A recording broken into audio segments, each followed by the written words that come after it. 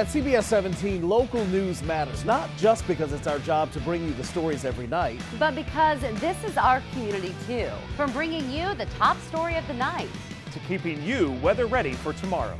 When local weather, when local news matters. Turn to CBS 17 News. Rod Carter, Angela Taylor, and Wes Hohenstein. Weeknights at 5, 6, and 11 on CBS 17 News.